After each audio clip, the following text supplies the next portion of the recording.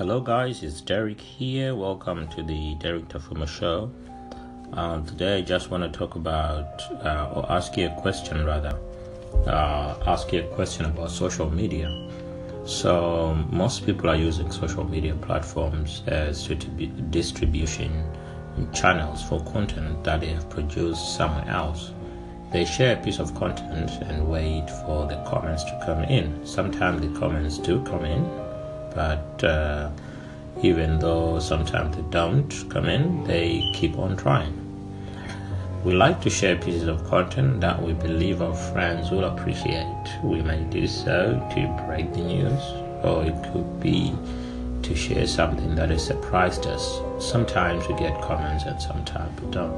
The posts that attract the most attention are death notices, weddings, birthdays, graduations, celebrities, um, politics. Many people appreciate the special occasions, so that's why they comment a lot on things like birthdays and graduations. So, social media basically is people, and people want to have a conversation.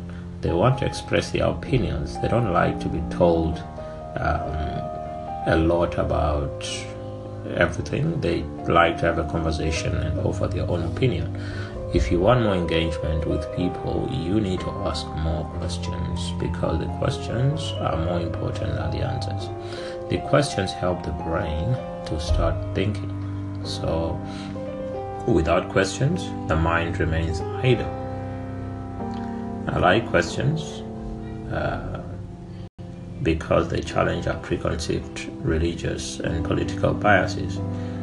We become better people when we welcome questions. If I ask you an awkward question, you do not have to answer it.